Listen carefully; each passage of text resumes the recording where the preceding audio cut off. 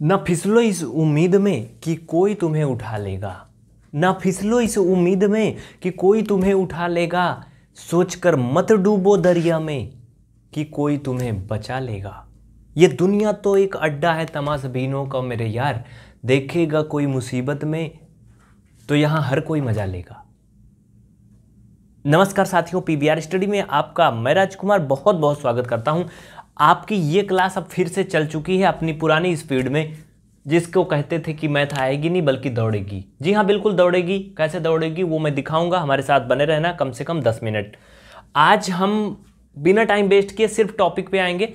जो पढ़ेंगे, यहाँ पे क्लियर हो गया। पहले से क्लास का सारा सिस्टम बदल चुका है। कम समय में ज़्यादा पढ़ाई होगी। गागर में सागर वाली क्लास होगी। फ्रैक्शन का टाइप हम लोग पढ़ेंगे। टाइप ऑफ़ फ्रैक्शन इंग्लिश में इसको फ्रैक्शन बोलते हैं, हिंदी में भिन्न बोलते हैं। सबसे पहला टाइप है, इसमें छह प्रकार की मुख्य रूप से भिन्न होती हैं। पहला है उचित भिन्न, जिसको प्रॉपर फ्रैक्शन बोलते हैं। इनकी शॉर्टकट में मैं आपसे पहचान अगर करवा दूँ तो जिस भिन्न का अंश बड़ा हो और हर छोटा हो, ये उल्टा हो गया, इसका है, अनुचित का, ठीक है?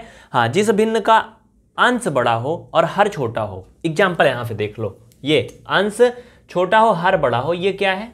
बच्चा ये है उचित भिन्न या प्रॉपर फ्रैक्शन ठीक है? दूसरा अनुचित भिन्न या इम्प्रॉपर फ्रैक्शन जिस भिन्न का अंश मतलब नीचे की गिनती छोटी हो ऊपर वाली बड़ी हो वो अनुचित भिन्न या इम्प्रॉपर फ्रैक्शन कहलाएगी ये। दोनों में अंतर है कि नहीं? हाँ? बच्चा ये आ, ये तो ठीक है एग्ज़ाम्पल इसमें तो कोई दिक्कत नहीं नीचे की गिनती बड़ी है यहाँ पर ऊपर वाली गिनती बड़ी होना चाहिए ये ऐसा होना चाहिए। ठीक है, कोई दिक्कत नहीं, चलो। ये हो गया। ये क्या है? ये अनुचित भिन्न है। इम्प्रॉपर फ्रैक्शन है। यानी कि ऊपर का गिनती जो है, जिसे अंश बोलते हैं हम लोग, इंग्लिश में डेनोमिनेटर बोलते हैं, वो ग्रेटर देन होनी चाहिए। इसको अगर आप चाहो तो ऐसे भी तो लिख सकते हो ना 191 इज़ ग्रेटर देन 37 ये कंडीशन होनी चाहिए, तब अनुचित भिन्न या फिर इम्प्रॉपर फ्रैक्शन बनेगी। समझ गए? जबकि इसका जस्ट उल्टा होता, पड़ोसी भाई छत्तीस का आंकड़ा वाला ये। इसमें नीचे का गिनती जो है, वो बड़ी होती, ऊपर की छोटी होती। है इसमें नीचे की छोटी, ऊपर की बड़ी। समझ गए? यही होता है इन दोनों की कहानी। घर बैठे गणित सीख अगला है, मिश्र भिन्न। मिश्र भिन्न, या फिर इसे मिश्रित भिन्न बोलते हैं। Mixed fraction. वैसे मिश्र तो थोड़ा सा अलग लग रहा है ना? मिश्रित। ठीक है? क्या होता बच्चा? मिश्रित भिन्न, जिसे इंग्लिश में मिक्स्ड फ्रैक्शन बोलते हैं। इसके नाम से ही लग रहा है इसमें कुछ मिलावट है। मिलावट तो आजकल दुनिया में सब चीज़ में है। हाँ हर चीज़ में मिलावट है।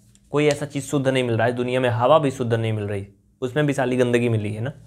देखो, मिश्रित भिन्न क्या होता है? मिक्स्ड फ्रैक्शन इसमें दो भिन्नों को आपस में मिला के मिक्सचर कर देते हैं, संकरण करवा देते हैं। जैसे अभी देखते थे ना पहले देसी जाति के जानवर आते थे। हाँ देसी इंसान भी होते थे, देसी फ़सलें होती थी, देसी आम होता था। लेकिन अब सब संकरण वाले हो गए मतलब मम्मी अलग, पापा अलग। इधर देखो, समझ गए? मिश्रित भिन्न का मतलब ये। इसमें मिश्रित क्या है? अब तुम लोग सोचोगे, क्या मिला क्या इसमें? बच्चा ये जो तीन है ना, ये एक, क्या है ये? कौन सी संख्या कहेंगे इसे हम? ये एक पूर्ण संख्या है ना? क्या है ये? ये पूर्ण संख्या है। और ये जो एक बटा पाँच है एक भिन्न है ये पूर्ण संख्या नहीं है। ये अपूर्ण संख्या है। समझ गए ना? या फिर ऐसे बोलो ये क्या है पूर्णांक है या पूर्णांक है? और इस तरह से ये क्या हो गई? दोनों भिन्न एक में मिल जाती तो मिश्रित भिन्न या फिर मिक्स फ्रैक्शन बनती हैं। ये कब बनती हैं? जब ऐसी कंडीशन होती है तब। ऐसी कंडीशन मतलब जब हर छोटा अंश बड़ा होता है तो मिक्स्ड फ्रैक्शन का जन्म होता है इसमें से। आ, ये आप समझ गए। नीचे है एक इक्वालियंट फ्रैक्शन क्या है? इक्वालियंट फ्रैक्शन अब ये इक्वालेंट फ्रैक्शन कौन से जानवर का नाम है? ये भी देख लो ध्यान से, इसमें कौन सी बड़ी मुसीबत है? चलो प्यार से देखो। बच्चा, ये जो है ना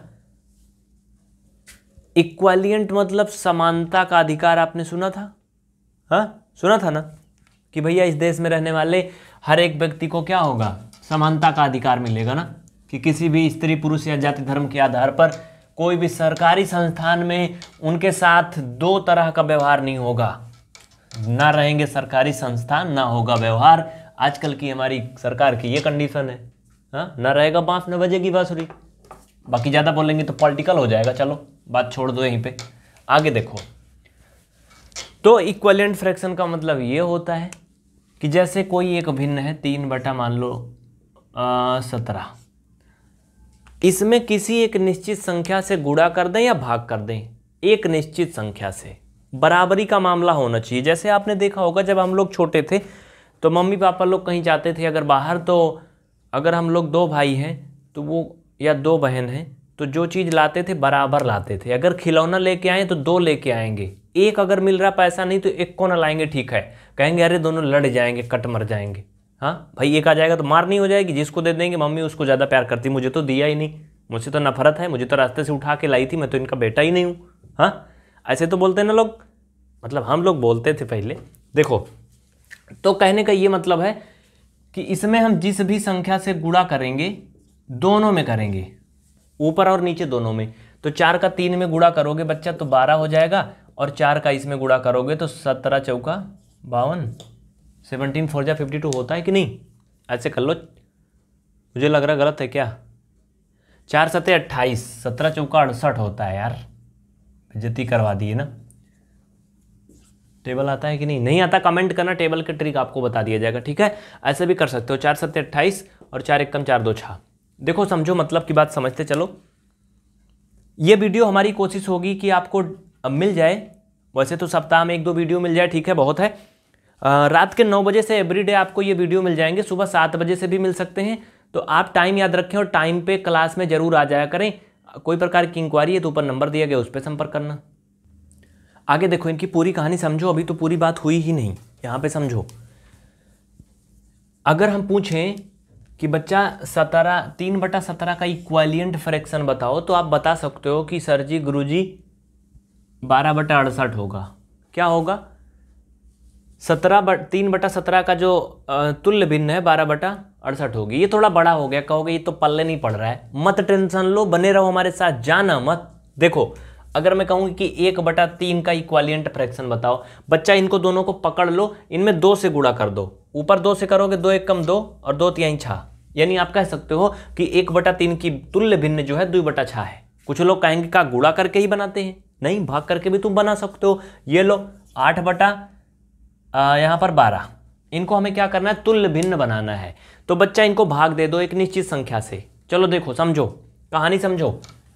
ये एक बटा तीन का तुल्य भिन्न, दो बटा छा ऊपर मैंने बता दिया था, उसको लिख लो। लिखने के लिए ना बताना पड़े कि हाँ लिखो लिखो लिखो। अब यहाँ वो क्या बोलते हैं? जन्माशय में खिचड़ी खाने नहीं बैठे हो कि मनाएँगे? खा लो भैया, खा लो। खा लो खा लो। हाँ? देखे हो कि नहीं? अब तो ज़माना ही बदल गया। भाई, पहले हुआ करता था, हम लोग बारात जाते थे। अब तो पता नहीं क्या सिस्टम हो गया कुछ सब अलग हो गया। देखो आठ बटा बारह यहाँ पे समझो पहले जाने दो। अंश और हर दोनों में एक निश्चित संख्या से भाग करेंगे। कैसे? इसमें भी दो से भाग कर लो बच्चा। और आठ में भी दो से भाग करना है थोड़ा सा इसमें जुगाड़ बना लो इसको ऊपर करके। काहे को गंदा कर दिया यार। देखो दोनों में भाग करना है। आ, ये। समझ रहे हो ना हम क्या करने वाले हैं? हमने ये भिन्न हमारी रियल में थी आठ बटा बारह। इसको हमने दो से भाग किया दोनों में। तो बच्चा कर लो ना, दोनों को अलग अलग ही कर लो, चाहे तुम। ये दो चौक आठ, ये दो छंग बारह। इक्वल कितना आ गया? चार बटा छः यानी आप कह सकते हो, क्या कह सकते हो? कि ट्वे एट अपान ट्वेल्व का जो तुल्य भिन्न है इक्वलियंट फ्रैक्शन है फोर अपान सिक्स है। क्या है? फोर अपान सिक्स है। इसको फिर से दो से भाग कर दो तो ये दो हो जाएगा, ये तीन हो जाएगा। यानी आठ बटा चार का तुल्य भिन्न, चार बटा छः दो बटा तीन, ये सब है। अगर हम पूछे कि दो बटा तीन का तुल्य भिन्न बताओ बेटा तो दो बटा तीन की तुल्य भिन्न, चार बटे छः या आठ बटे बारह, ये भी है। समझ गए ना? इसके अकॉर्डिंग और कुछ बना सकते हो। चलो मैं पंद्रह से गुड़ा कर लूँ दोनों में तो पंद्रह दूना तीस और पंद्रह तीन पैंतालीस। यानी हम कह सकते हैं कि दो बटा तीन का तुल्य भिन्न, तीस बटा पैंतालीस भी है। क्या किया मैंने? फिफ्टीन से मल्टीपल किया दोनों में, ऊपर नीचे। और क्या? लेकिन एक बात और समझ लो बच्चा, अब ये तीस बटा पैंतालीस इसकी तुल्य भिन्न नहीं है। क्यों? किसी भी कंडीशन में आएगा ही नहीं। समझ गए ना? तो यानी ये दोनों क्या है? आपस में ये दोनों तुल्य भिन्न है। और बेटा, ये दोनों और है ही छुटकी वाली ये ये तीनों तुल्य भिन्न है आपस में, ये तीनों, ये दोनों और ये। समझ गए ना? ये होता है इक्वालेंट फ्रैक्शन उम्मीद करते हैं आप फ्रैक्शन का टाइप समझ गए होंगे। एक होती बड़ी खतरनाक, वितत भिन्न। वितत भिन्न के बारे में हम यहाँ पे डिस्कस नहीं करेंगे, किसी काम की नहीं होती वो। तो फ़िलहाल, आज की ये क्लास यहीं पे ख़त्म करेंगे। आप सभी उम्मीद बना के रखिए, अगर आप कंप्लीट क्लास जल्दी से जल्दी पढ़ना चाहते हैं, ये दस मिनट की क्लास आप दस दस घंटा पढ़ना चाहते हैं, तीन तीन घंटा पढ़ना चाहते हैं तो पूरा कोर्स एक साथ ले सकते हैं। आप हमारी प्रीमियम क्लास ज्वाइन कर सकते हैं। पीबीआर स्टडी का ऐप प्ले स्टोर से डाउनलोड करें, डिस्क्रिप्शन में लिंक दी गई है। ज़्यादा जानकारी के लिए नंबरों पर संपर्क करिए। सुबह दस से शाम छः बजे के बीच फ़ोन कॉल करिए, आपको हमारे जो भी असिस्टेंट हैं, पूरी सहायता करेंगे। और हाँ कल की क्लास में पढ़ेंगे सरलीकरण। याद रखना सिंपली फ्रेक्स क्या बोलते हैं? सिंप्लीफिकेशन ऑफ़ फ्रैक्शन जैसे ये भिन्न दी गई है, इसको काटते पीटते कैसे हैं?